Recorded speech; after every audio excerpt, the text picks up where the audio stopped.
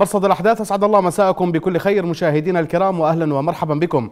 إلى حلقة جديدة لحل لهذا اليوم مشاهدينا الكرام نكرس الحديث عن التفجير الحوثي للمنازل إرهاب الخراب والنفي الطائفي.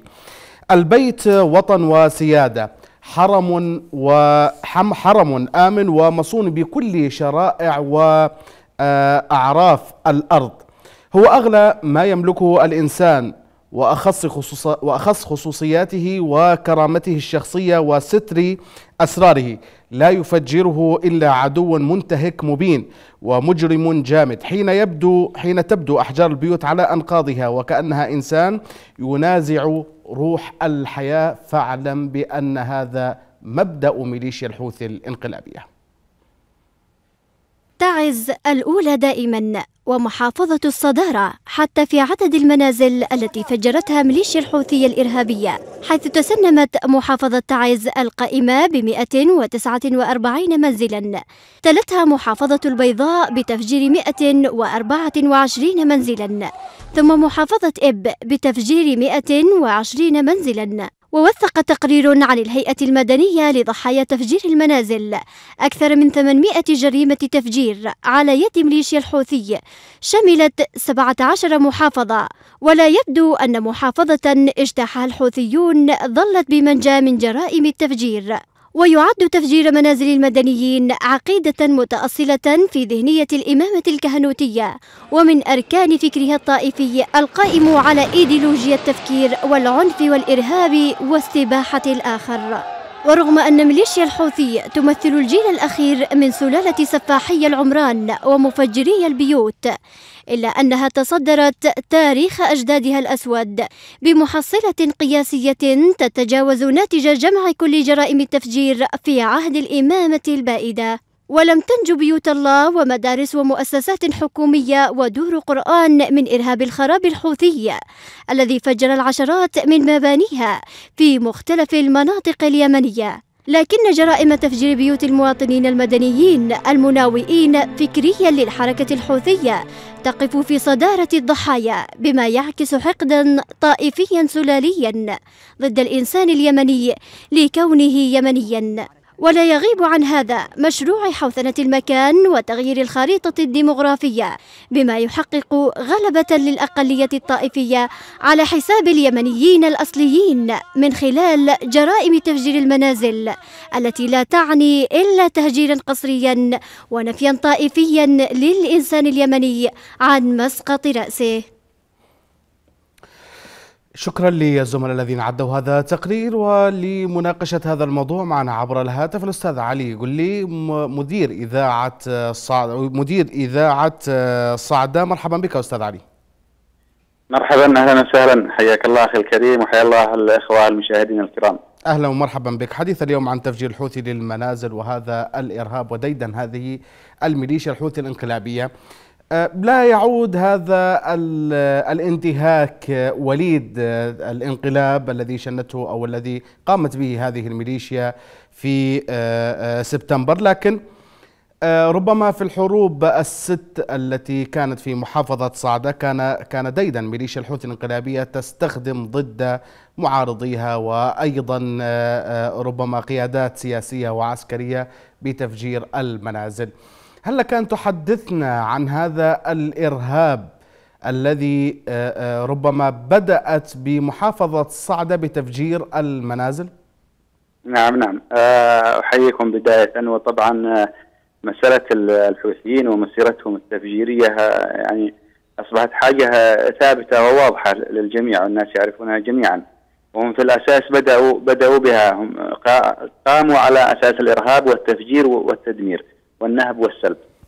فبداياتهم في في صعده فعلا. كان هناك من يعارضهم ومن قيادات سواء في الدولة أو قيادات قبلية واجتماعية.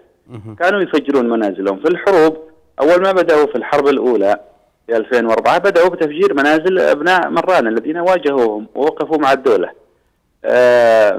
مثلا أمثال مشايخ كثير منهم عثمان أو عبد الرحمن ثابت والشايق المراني وابن قريش والعراقي مشايخ كثير في مران.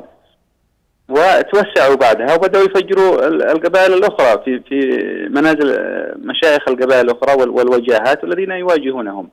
في في ساقين وفي حيدان وفي غمر وفي رازح وفي شدا وفي قطابر وفي مجز المهم في كل مديريات المحافظة كل مكان وصلوا إليه بدأوا يفجروا فيها يعني نعرف إنهم فجروا بيت الشيخ حسين حسان في غمر وبيت آه، الشيخ ابن روكان وبيت أيضا الشيخ عثمان مجلي فجروا لما دخلوا صعده في 2011 آه، دخلوا مركز المحافظة وبدأوا فجروا منازل الشيخ عثمان وإخوانه وفجروا عليهم الفندق الكبير كازبلانكا وارادوا يفجروا الفندق الثاني أيضا فندق رحبان لكن بعدها فكروا إنهم يستثمروه ووضعوا فيه آه، ما يسموها مؤسسة زيد بن علي للإنتاج والتوزيع الفني الذي انتج أنتجوا فيه زواملهم في 2011 إلى 2014 آه، كانوا ينتجوها من هناك. آه، صحيح إنهم ما فجروا هذا الفندق لكن أنشأوا زوامل تفجر منازل أخرى في في قبائل أخرى وفي محافظات أخرى.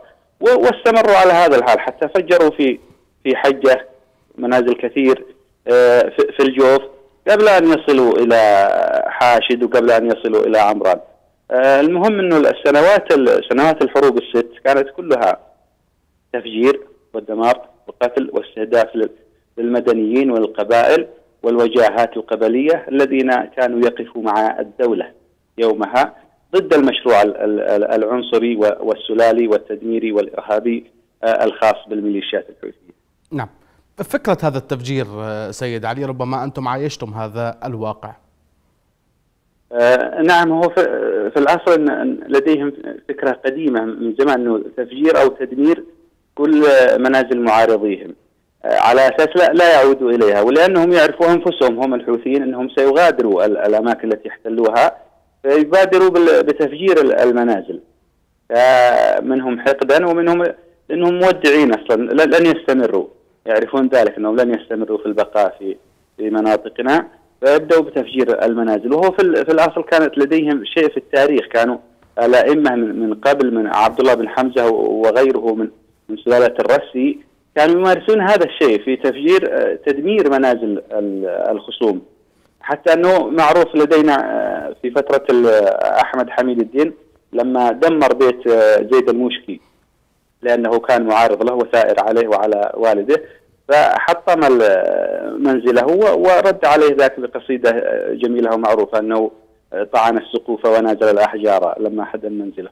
فالمسألة هي مرتبطة لديهم تاريخيا وثقافيا وفكريا أنه لابد من تدمير منازل الخصوم لابد من قتلهم لابد من تشريدهم وتهجيرهم حتى نحتل مناطقهم ومنازلهم وبيوتهم. ولأنهم أيضا خايفين من عودة هؤلاء الناس فيبدأوا بهذه الممارسات الإرهابية والتفجيرية وما إلى ذلك. الهدف من استهداف هذه الشخصيات المعارضة والبارزة والاجتماعية بمثل هذه الأعمال. نعم أخي الكريم الدافع في الأساس هو الحقد وكما قلت لك الفكرة العنصرية والسلالية ثم من بعد ذلك هم يستهدفون المشايخ والوجاهات القبلية والكبار والأقوياء ليخيفوا بقية الأفراد وبقية الناس والضعفاء. يعني أضرب القوي يأتوك الضعفاء آه، مسالمين ومؤيدين ومستسلمين. فهم يمارسون هذه الطريقة. ويستغلون يعني من من ناحية أخرى أنه لا يهاجمون كل القبائل دفعة واحدة إنما كانوا يهاجمون قبيلة قبيلة ويتفردوا بها قبيلة قبيلة شيخ شيخ ويفجروا بيته حتى يصبح عبرة لشيخ آخر في قبيلة أخرى. يعني يوصلوا الإرهاب بهذه الطريقة إلى إلى قبائل أخرى ومصيره كمصير الشيخ الذي سبقه وقبيلته كالقبيلة التي سبقت التي واجهت هذا الفكر العنصري والمتطرف والإرهابي. أهداف كثيرة كما قلت لك منها آه، الحقد منها التخويف منها الإرهاب منها آه، عدم الرغبة أو عدم التأكد من بقائهم في المنطقة المعينة التي استهدفوها وفجروا فيها لأنهم يعرفوا أنهم زائلون وأن مشروعهم زائل وإن شاء الله سيزول قريبا. إن شاء الله بإذن الله تعالى أشكرك جزيل الشكر أستاذ علي قولي مدير إذاعة صعدة كنت معنا عبر الهاتف ومعنا عبر الهاتف أيضا فهمي الزبيري مدير عام مكتب حقوق الإنسان بأمانة العاصمة أسعد الله مساك أستاذ فهمي. اسعد الله مساءكم أخي الكريم أهلا ومرحبا بك. حديث اليوم حول آه، المسيرة التفجيرية والتخريبية لميليشيا الحوثي الانقلابية. فقدنا الاتصال. إذا آه، ربما نعاود الاتصال بالأستاذ فهمي الزبيدي وأيضا العاصمة صنعاء. آه، ربما تحدثت تقارير كان النصيب الأكبر لمحافظة تعز وتلتها عدة محافظات لكن صنعاء أيضا هي كانت أخذت النصيب بتلك التفجيرات. لمنازل المدنيين والمواطنين وأيضا لكل معارضيهم. إذا سلم الحجر فلم تسلم محتويات المنازل من النهب والسرقة التي آه، قامت بها ميليشيا. الحوثي الانقلابية خلال الانقلاب آه، على الحكومة الشرعية واستخدمت هذا الأسلوب و آه، كما تدعي بأنها مسيرة قرآنية لكن على أرض الواقع. مسيرة تفجيرية مسيرة تخريبية مسيرة دمار وحقد وربما أرادت أن توصل رسائل بالإرهاب لكن الأحجار سوف تبنى يوما. ما إذا عاد إلينا فهمي الزبيدي مدير عام مكتب حقوق الإنسان بأمانة العاصمة. وجد ترحيب بك أستاذ فهمي. مرحبا أهلا ومرحبا بك. أستاذ فهمي آه، ما الذي يمكن أن تحدثنا خلال خمس سنوات عن الأعمال التفجيرية لمنازل المواطنين والمعارضين لميليشيا الحوثي الانقلابية خلال الخمس سنوات الماضية. آه، أخي الكريم آه، طبعا الجميع يعرف آه، هذا النهج الذي تتخذه ميليشيات الحوثي اليوم. هو هذا النهج ليس ولد اللحظة إنما هو تقليدا ونهجا منذ ألف عام لمسيرة هذه الإمامة الطائفية السلالية التي تحاول أن تبث الرعب وتخوف المجتمع من خلال آه، هذا الانتهاك الذي يتعارض ويتنافى مع جميع القوانين والمواثيق والمعاهدات آه، الدولية وأيضا القوانين المحلية التي تجرم حرمة المساكن. إذا كان أخي الكريم آه، يعني لا يجوز ان يدخل أحد مسكن أي شخص آخر إلا بإذن.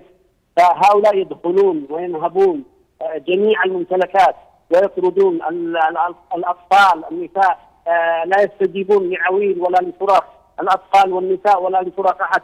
يمارسون جميع الانتهاكات الحق في الحياة، الحق في الصحة، الحق في التعليم، ينتهكون جميع العهود، جميع المواثيق آه، الدولية. وبحسب ما ما صنفت هذه الجريمة المواثيق و العهود الدولية واتفاقيه جنيف الرابعة بانها جريمة حرب. كذلك آه، ميثاق روما آه، عام 1898 عد هذه الجريمة آه، بانها تمثل جريمة حرب. وتنعقد معها المحكمة الجنايات الدولية. لذلك لابد على جميع الحقوقيين على المحامين على القانونيين أن يحركوا هذا الملف الغائب. للأسف الشديد أخي الكريم هذا الملف غائب تماما ونحن ندعو من خلال ومن منبر سويد الحكومة ندعو المنظمات المحلية ندعو الحقوقيين ندعو الإخوة الذين في في في الدول الأوروبية وفي الدول وفي أمريكا وفي غيرها أن يحركوا هذا الملف ملف تسجير المنازل لأن الافلاس من العقاب هو الذي يشجع هؤلاء على على ارتكاب مزيد من الجرائم ومزيد من الانتهاكات. ومزيد من التهجير القسري ومزيد من التطهير الطائفي. آه، حقيقة هذا الملف ملف مؤلم ومؤرق جدا جدا أخي الكريم. نحن حضرنا فعالية الهيئة المدنية لضحايا تفجير المنازل. والله يا أخي الكريم أننا سمعنا ما يبني القلوب آه، لا يبكي العين فقط وإنما يبني القلوب من من من هول وبشاعة و آه، ما ما ما ما حدثونا به. ضحايا المنازل من النساء من الرجال من الأطفال. هناك تهجير قسري هناك تجريف للهوية اليمنية هناك تطهير عرقي تطهير عقائدي. لأن المنزل هو يعتبر مكانا رمزيه يعتبر يعني البعد الاجتماعي لما يمثله من مكانة عالية لارتباط الإنسان اليمني بالأرض ارتباطه بموطنه. هؤلاء يهجرون الناس منتهكين جميع الحقوق الأساسية للمواطنين. ناهيك عن الأضرار الاقتصادية ناهيك عن نشر الحقد والكراهية. أخي الكريم كيف سيكون حال الطفل أو الأطفال الذي خرجوا من هذا المنزل وشردوا وفجر منزلهم؟ كيف سيكون حال هؤلاء الأطفال؟ كيف سيكون التاثير النفسي آه، يعني آه، خلال الأعوام القادمة آه، ليس فقط أطفال المنزل وإنما أطفال الحي، أطفال المنطقة الذي يسكنون فيها، أطفال القرية جميعهم. أخي الكريم هناك يعني نشر للحقد والكراهية من خلال هذه الجماعة الطائفية السلالية التي تحاول بالقوة وبالجبروت وبالعنف ان أن تحكم هذا الشعب وأن لهم ذلك. طيب تحدثت عن آه، ربما ضرورة تحريك هذا الملف على أكثر من آه، آه، صعيد هنا نتحدث هل ربما هذا الملف لم يعطى اهتمام بتقصير أم هناك المنظمات لم تعطي أولوية لهذا الموضوع وتعمل على مواضيع أخرى بالرغم من أهميته والخسائر التي يتعرض لها أولئك المدنيين بمثل هذه الأعمال لا تقل عن تلك الخسائر التي ربما تمارسها ميليشيا الحوثي الانقلابية بطرق أخرى ما هو المطلوب اليوم سواء كان مجتمعيا أو من تلك المنظمات لتحريك وتفعيل هذا الملف وتصعيده إلى كافة الجهات المعنية؟ آه، أخي الكريم هناك اهمال هناك اغفال لهذا الملف الهام جدا بما له من أضرار مادية، أضرار اجتماعية، أضرار نفسية، آه، بشاعة الجريمة ويعني خطرها على المجتمع آه، يعني يجب على جميع الحقوقيين هناك تجاهل كما قلت. لو حرك هذا الملف لأن هذا الملف لا, لا التفجير ليس فقط التفجير هو الانتهاك للمنزل فقط. هناك انتهاك كما تحدثنا تهجير قسري.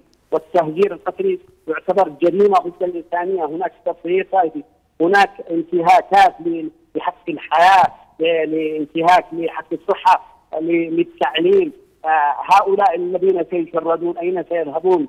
آه لا يوجد لهم أي مأوى، لا لا يجدون أين يذهبون، أيضا النهب الذي يتم ويصاحب ويرافق عملية آه التفجير، أيضا الرعب وبث الرعب والتخويف. ويعني عندما يسحبون هؤلاء الأطفال والنساء بالقوه وبالعنف إلى خارج المنزل آه، هناك انتهاكات أخي الكريم كما تحدثت تبني القلوب ويجب على الجميع أن أن أن الحقوقيين الإعلام أيضا له دور هام جدا آه، وسائل الإعلام يجب أن تخصص آه، يعني مساحة واسعة لهذا الملف كما أيضا يجب على الحقوقيين الاخوان الحقوقيين آه، ان ان آه، ان آه، يتم دراسة هذا الملف ودراسة منهجية وفي أطر قانونية ووفق المعايير الدورية. ونحن أيضا أخي الكريم نشكر الأخوة في هيئة تسجيل المنازل لتسليط الضوء على هذا الملف الهام جدا.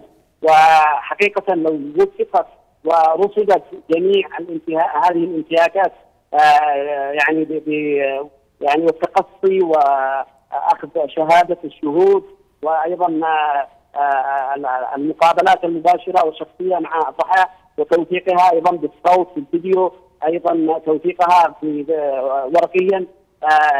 يعني يتم جمع هذه المعلومات وتحليلها والخروج بتقارير هامة جدا وأيضا يتم ترجمتها إلى إلى اللغات آه، الإنجليزية، الألمانية، الفرنسية، إلى جميع اللغات يتم ترجمة هذه التقارير التي ستصدر وأيضا التقرير الذي صدر قبل أيام.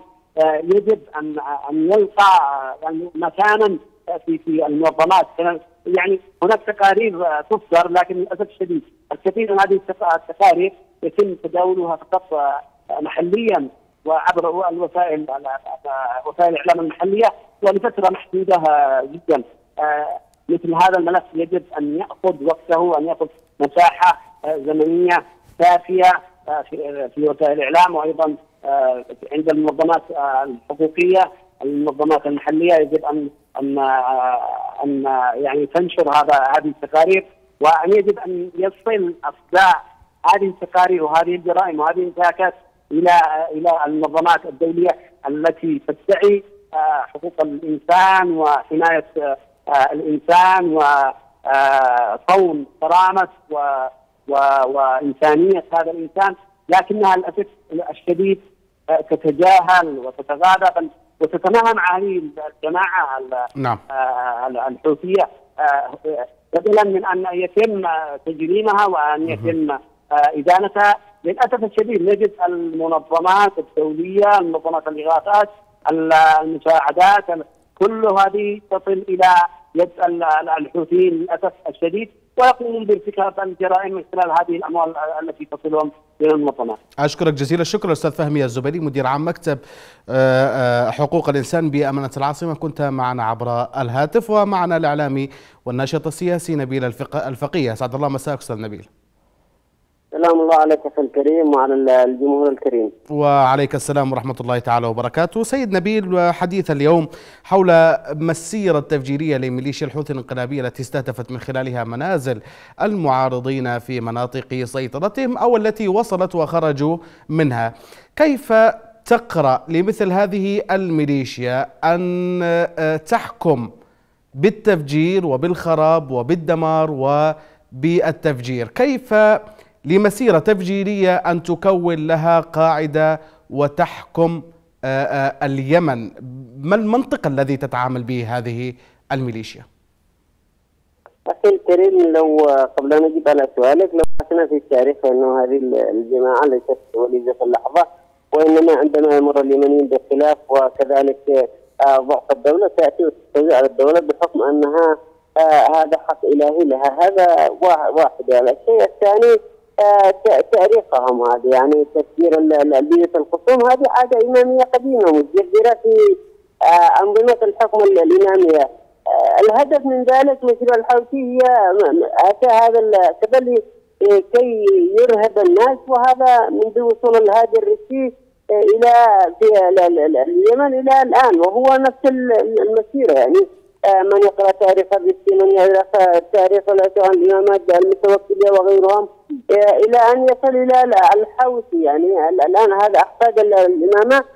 يجد نفس المنهج تكسير البيوت هذه عادة متجذرة اماميه بل وأن بعضها عندما تجد العقائديين كأنه يقول يتعبد الله في هذا إرهاب الناس. هذه عقيدة عندهم يعني عقيدة ما دام أنهم يقولون أن الحكم أصلا حق إلهي لهم فتخيل هذه تفاصيل بس صغيره بالنسبة لهم تفجير البيت وغيرها. أنت تتخيل يعني وكذلك عندما تجد نفسيا لماذا تفجير البيوت؟ عبد الملك الحوثي عايش في عقدة الكهف وعقدة التهجير في الجبال وغيرها. هذه عقدة تضاف إلى مسيرة يعني التفجير البيوت كذا هي ما دام أن الرجل في الكهف وفي الجبال وكذا لم يعرف لا الحياة ولا المدنية ولم يعرف قيمة البيوت ولم يعرف قيمة الإنسان ما دام هو مسرة الجبال ومختبئ في الجبال والكهوف وغيرها فهذه العقدة تضاف إلى هذا أخي الكريم كذلك يعني وأنا قرأت تصفح تقارير عدة. يعني تخيل من 2014 من الانقلاب إلى اليوم. هناك تقارير تشير إلى 810 منازل في 17 محافظة يمنية كل هؤلاء المواطنين معرضين له أو لم يرضى عنهم الحوثيين. قبل أيام أعتقد في 1 سبتمبر عقد مؤتمر صحفي في مأرب حمل هذا التقرير عن البيوت وغيرها. أغلب ما كان البيوت تصدرت محافظة سعيد المرتبة الأولى في تسجيل البيوت تلتها محافظة محافظة البيضاء وكذلك محافظه المرتبة الثالثة وبقية المحافظات. ب 810 منزل يعني تتخيل 810 منزل هذه 810 أسرة وخلفها أفراد من الأوائل وأنت تعرف قيمة البيت في اليمن وغيرها أن هذا جزء من صينونه الإنسان اليمني فهو يريد أن يهين الإنسان اليمني يحكم سيطرته ف... عليه كما يحكم في الشارع. نعم فبالتالي إلى أي مدى أسقطت هذه التفجيرات قناع ميليشيا الحوثي الانقلابية الزائف التي كانت آه، ترفعه لأبناء الشعب اليمني. هي بالفعل عرت نفسها تماما وهي أصلا آه، إذا أتينا نقول انها عرت أخلاقها هي كما آه، قال محمد جماح هي بلا أخلاق أساسا لا يوجد لديها أخلاق ولا تعرف الأخلاق آه، رجال أتوا من الكوف لا يعرفون الأخلاق ولا المبادئ ولا القيم ولا غيرهم.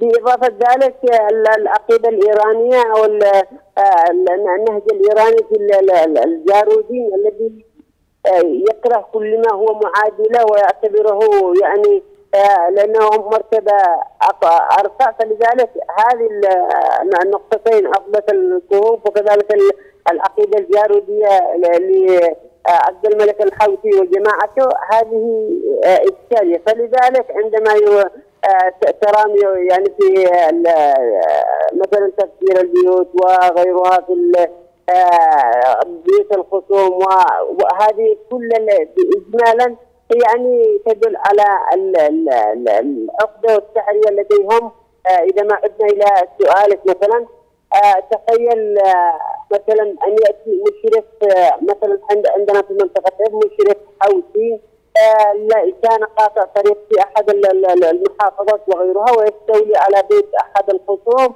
ويتباهى بذلك ويطرد أهالي ال- ال- ال- ال- الأسرة وكذلك تقع بيت صغير بجانبه سكنوا أولاده ويطلب منهم اجابه تخيل إلى أي حقارة وصلوا هذه. آه، فهم بذلك يعروا أنفسهم والكتب التي كنا نقنع فيها الناس وكذلك النهج وكلها عروها في على ال- ال- ال- الواقع. والشعب اليمني بس يعرف من هي جماعة الحوثي ومن هو الحوثي وما هو تاريخهم. لم تعد ذلك الجماعة المظلومه في صعبان الذي لا يعرف عنها شيئا إلا من ال- الإعلام قليل أو ما كان يذاع عبر نشرة الأخبار. صار الحوثي معروف لدى اليمنيين انه وصارت من هو والإمامة وغيرها وتسجيلاته وكل يوم يتعرى أمام ال- اليمنيين. فقط يحتاج إلى قيادة رشيده آه، تقود البلد. والحوثي يعني آه، لا أعتقد أنه سينقص أيام. ما رأينا انتفاضة آه، عندما اختلف مع علي عبد الله صالح في صنعاء كاد أن يسقط لولا لم تكن هناك قيادة جاهزة وغيرها. وهذه الجماعة وغيرها. نحن كما كذلك في تفجير البيوت والأرقام التي تذكر وغيرها لابد من توثيقها ومحاكمتها محاكمة نعم. دولية وفي كل في المنظمات وعلى وزارة حقوق الانسان وكذلك الشرعية أن تكون عند مستوى الحدث هذا وهذه الأرقام لا تذهب عبثا. نعم أشكرك جزيل الشكر الأستاذ نبيل الفقيه إعلامي وناشط سياسي. كنت معنا عبر الهاتف. مشاهدينا الكرام أترككم مع فاصل قصير ثم أعود إليكم.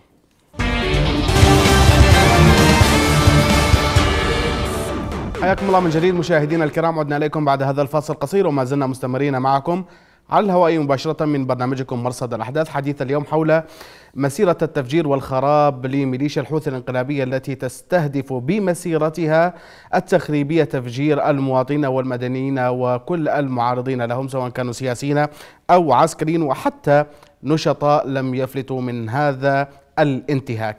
للمواطن اليمني رأي حول تلك الأعمال الإرهابية والتخريبية والمسيرة التفجيرية لميليشيا الحوثي الانقلابية. نتابع ماذا قالوا عنها. تفجير المنازل هي جريمة يعاقب عليها القانون وهي وسيلة تتخذها ميليشيات الحوثية للضغط على المواطنين لإخضاعهم وتركيعهم لاتباع آه، يعني طريقتهم التي يمشوا عليها في إهانة اليمنيين. في تفجير المنازل والمساجد والمدارس والبيوت. أرهاب الناس. ولا يكن نقول لهم هيهات لن نرتهب بإذن الله نحن داخلين صنعاء وفاتحين كل كل بقع وكل شبر. ولو يبقى معنا شبر واحد سنقاتلهم فيه. جريمة كبرى لا تغتفر لا لا لا يسمح بها لا شرع ولا عرف ولا قبيلة. لا لا لا لا ما يخضعوش مهما كان مهما طال ذي ولا حيخضعوا بإذن الله ما يخضعوا وإن الناس واقفين لهم بالمرصاد ومهما عملوا ومهما شردوا الناس الناس يعني واقفين لهم بالمرصاد. يريدوا الدمار والخراب وقاتل النفس التي حرمها الله بشكل عشوائي المدنيين والأطفال والشيوخ والشباب ويزيع الناس. يؤثر نفسيا و جيل بعد جيل على النساء والأطفال وال... تفجير المنازل جريمة لا يرضى بها لا شرع ولا عرف ولا إخلاق ولا قيم. إحنا بالنسبة لنا مجتمع آه، اليمني مجتمع جبل على آه، مراعاة ال- القيم وعلى الإخلاق وعلى بني على الحفاظ على كل ما يرفع من سمعة ال- الشعب اليمني. آه، بالنسبة لما يحصل من تفجير المنازل هذا عادة دخيلة على المجتمع اليمني. صراحة نحن لا نقبل بها ولا يقبل بها آه، ال- ال- الكثير ممكن كل المجتمعات العالم ما يقبلوا بهذا ال- العمل الإجرامي. والله هذا صمت يعني صراحة الأمر صمت غريب وعجيب خاصة يعني في هذا الفترة الأخيرة. إحنا نشوفهم يعني يتغنوا في بعض في بعض الأوقات آه، باسم حقوق الإنسان باسم مراعاة مشاعر ال- المجتمع آه، المدني. فلكن عندما تكون الأمور في الجانب الآخر نش- نلاحظ نبرات الصوت تختلف. ون- ونلاحظ ونش- ونشاهد غياب المبعوث الأممي خاصة عندما تكون الأمور هنا في مارب. تفجير المنازل والبيوت هذا إرهاب وهذا من أعمال آه، القاعدة وداعش وكذلك الحوثي الذي الآن يقوم بتفجيرها. وبالنسبة للحالات النفسية اللي تصاب بها العوائل والأطفال والأسر يدخل أكيد في حالة نفسية وإرهاب نفسي. نتيجة تفجير المنازل والإرهاب الحوثي. آه، بالنسبة لصمت المبعوث الأممي هذا تواطؤ ونحن نعرفه سابقا. كل ما كان الحوثي متقدم في الميدان كل ما صمت وكل ما كان منكسر الحوثي يبدأ بإعلان هدنة عصابة إجرامية قامت بتفجير المنازل وتفجير بيوت الله ودور القرآن لإرعاب الناس وإرعاب النساء والأطفال بشائع يعني آه، تقشعر لها الأبدان. آه، إجرام إجرام بكل ما تعني كلمة آه، الإجرام يعني. لن يخضع اليمنيين مهما حاولوا مهما مهما جاء لهم الدعم خارجيا مهما زادت المؤامرة اليمني شامخ إلى السماء. ولن يخضع لأي عنصر آه، لأي سلاليين آه، ميليشيات. فنحن نأبى الخضوع ونأبى أن نستسلم. سنقاتل بكل ما أوتينا من قوة. سنقاتل بكل بكل طاقاتنا وقوتنا. حتى لا أقول آخر جندي أو آخر قطرة دم تجري في دماءنا. إن شاء الله والنصر حليفنا إن شاء الله تعالى. بهذه المعنويات العالية تنكسر هذه المسيرة التفجيرية. إذا تابعنا آراء المواطنين. إذا مشاهدينا الكرام ما زلنا مستمرين في النقاش حول هذا الموضوع. ومعنا عبر الهاتف الشيخ الدكتور آه، محمد راجح عضو جمعية علماء اليمن. أسعد الله مساءك دكتور.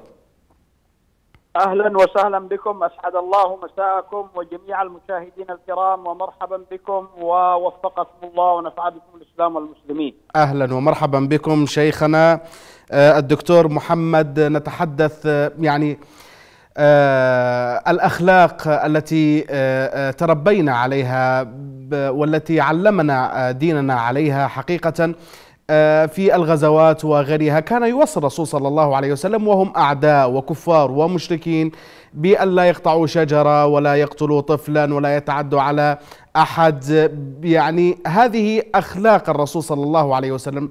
اليوم نحن بمن يرفع هذه الشعارات وأنها مسيرة قرآنية وأخلاق الصحابة ويمشون عليها يفجرون المنازل ويهجرون المواطنين ويعتدون عليهم بكل أشكال الانتهاكات. هذا محرم بكل الشرائح الشرائع السماوية وكذلك بالقوانين الأرضية. قراءتكم شيخنا لهذه الأعمال التي ترتكبها ميليشيا الحوثي الانقلابية تدعي بأنها مسيرة قرآنية وتفجر دور القرآن وتفجر منازل المواطنين الآمنين.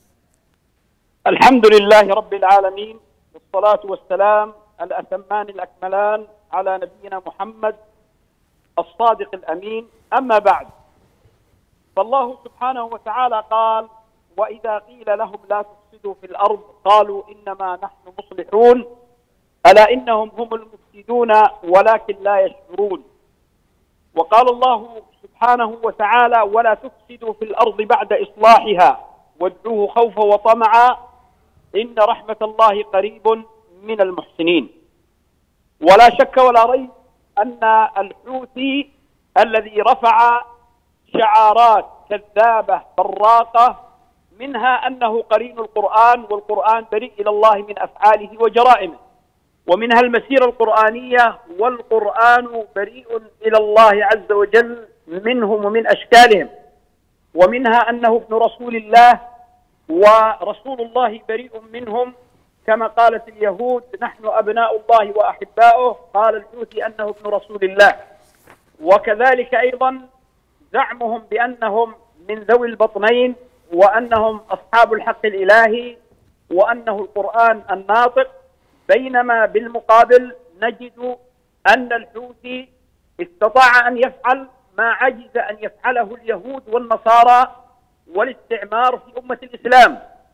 فلو نظرنا إلى ما يفعله الصهاينة في فلسطين نجد أنهم لم يفجروا حتى عشرة مساجد بينما الحوثي إلى ما قبل ثلاث سنوات فجر 750 مسجدا إما تفجيرا وتلغيما كليا أو جزئيا.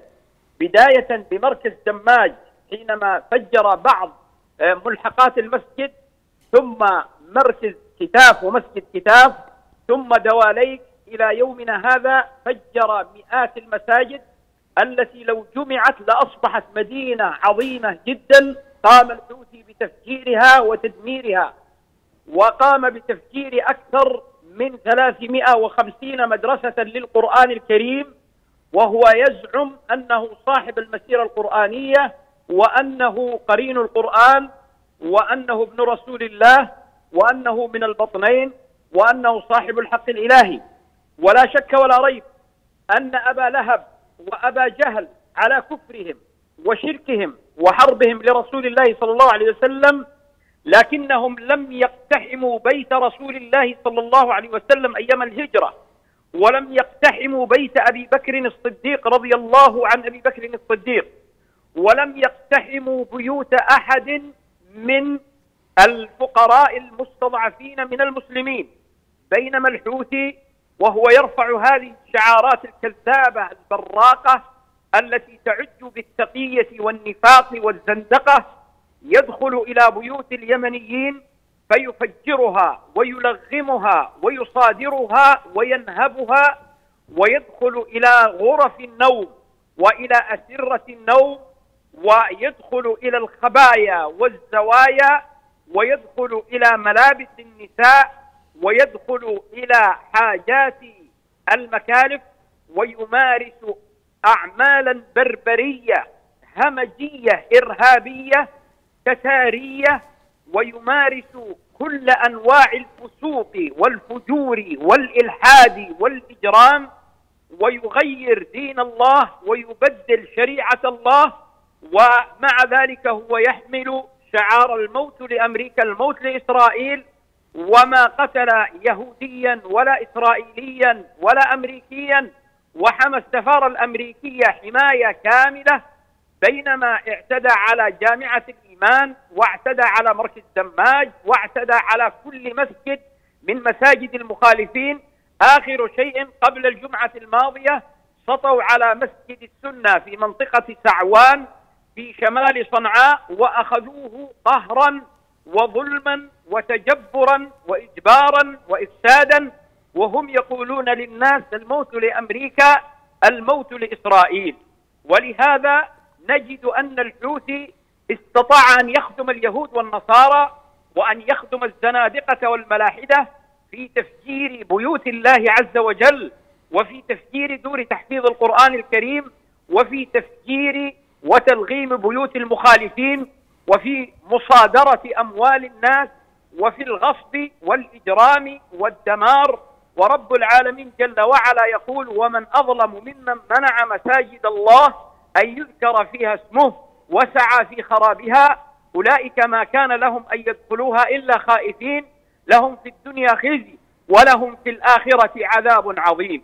ولا شك ولا ريب أن أول من اعتدى على حرمة المسجد وقتل في بيت من بيوت الله إماما عادلا وهو عمر بن الخطاب رضي الله عنه وأرضاه هو جد الحوثي أبو لؤلؤة فيروز الديلمي المجوسي الكافر الذي مارس الإرهاب والإجرام وقتل عمر بن الخطاب هو الحوثي الآن يجري بمجرى أبي لؤلؤ المجوسي بالقول والعمل. ولهذا نجد أن الحوثي استطاع فعلا أن يرفع الشعارات وأن يتباكى وأن يعمل بما قيل ضربني وبكى وسبقني واشتكى ويتباكون على الحسين بن علي وهم يفعلون أفعال قتلة الحسين بآلاف ومليارات المرات من القتل والدمار والتفجير والتلغيم وزراعة الألغام ومصادرة المرتبات والمعاشات ومصادرة المشتقات النفطية وتجريع الشعب وحرمان الشعب من التعليم نعم. وحرمان الشعب من الصحة ومن جميع الخدمات العامة والخاصة والبنى التحتية إلى غير ذلك من أنواع الإجرام والإفساد. أشكرك جزيل الشكر الشيخ الدكتور محمد راجع عضو جمعية علماء اليمن. كنت معنا عبر الهاتف. نختم مشاهدينا الكرام بهذه الم- المشاهد التفجيرية التخريبية التي آه، تبنتها ميليشيا أو مسيرة التفجير والخراب. أترككم مع هذه المشاهد.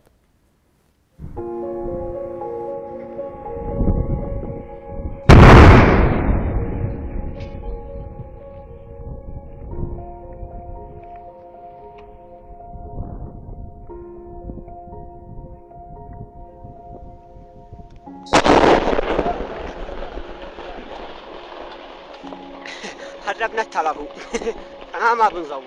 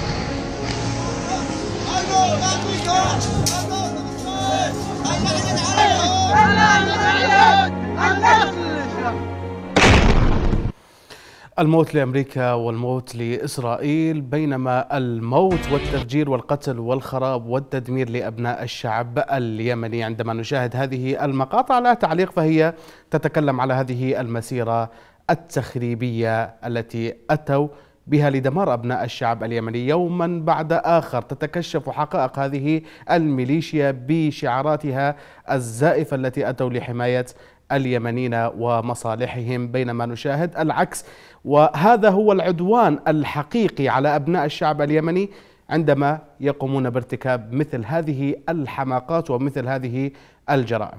في أمان الله.